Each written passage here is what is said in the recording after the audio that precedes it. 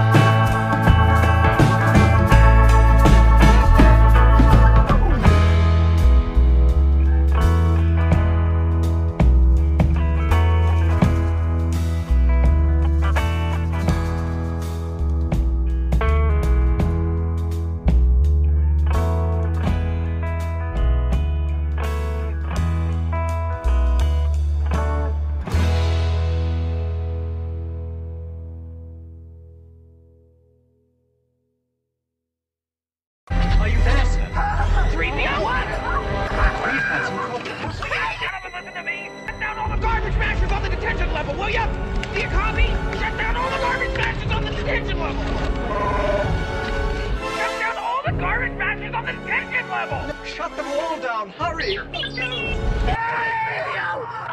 Listen to the dying R2. Curse my metal body, I wasn't fast enough, it's all my fault.